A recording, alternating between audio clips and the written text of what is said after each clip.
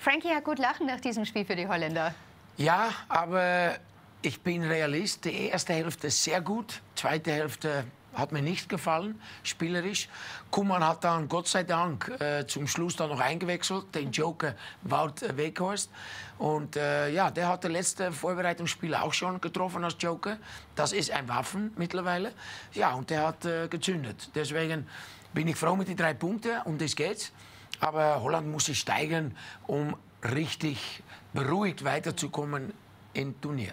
Ja, ein bisschen ist sicher noch drinnen. Ich meine, die sind immer in Weltranglisten siebter, also ja. eigentlich extrem weit vorne. Die holländische Mannschaft ist sicherlich eine der stärksten in dem Turnier. Wer glaubst du, wird innerhalb von unserer Gruppe der stärkste Gegner für die Niederlande werden? Ja, Frankreich. Frankreich äh, liegt Holland überhaupt nicht. Äh, Österreich wird unheimlich schwer für mhm. Holland. Ich glaube, dass Österreich schwerer wird als Polen.